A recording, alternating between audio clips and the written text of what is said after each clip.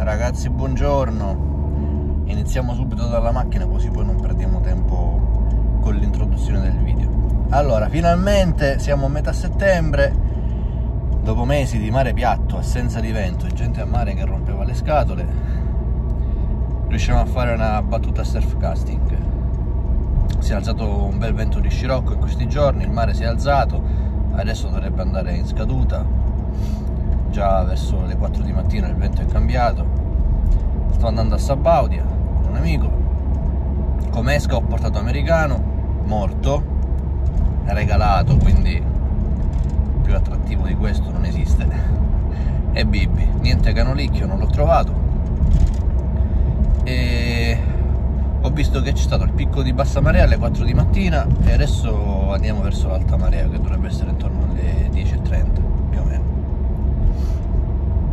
io in questi mesi sono stato molto impegnato però qualche battuta di pesca l'ho fatta sono uscite delle belle marmore ho avuto un bel pesce che purtroppo sulla secca poi ha spezzato si è portato via lo 0,25 posso già dirvi che era onorata perché l'ho capito sia dalla mangiata prima ancora di ferrare che poi l'ho avuta qualche minuto in canna ho cercato di stancarla un po' a largo e si capiva perfettamente che era onorata su, un chilo non di più.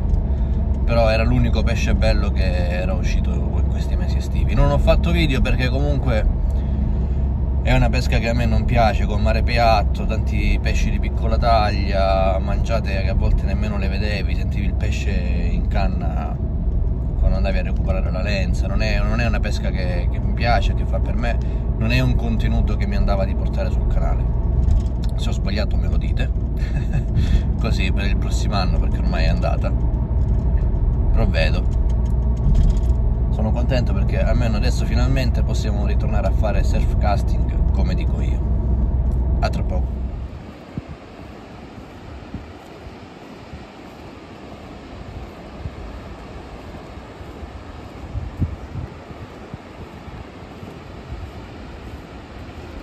sto senza cassone, senza zaino e quando vieni a pesca con Mirko fai chilometri a piedi.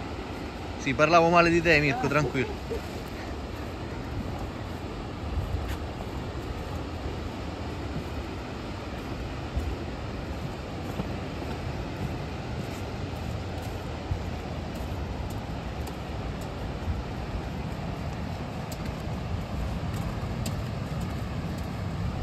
Mamma mia che mare, che spettacolo!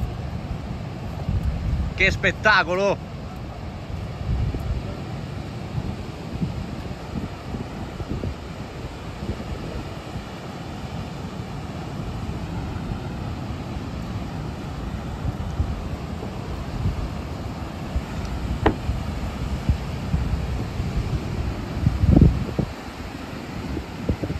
È solo da decidere, mi? Secondo me siamo proprio scesi nel punto giusto, sai?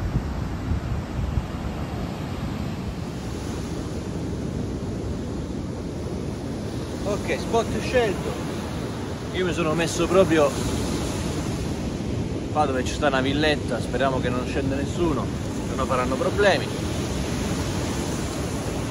Poi proverò ad avvicinare un po' la videocamera. Non si vede niente. Buono così oggi esca questa la possiamo spegnere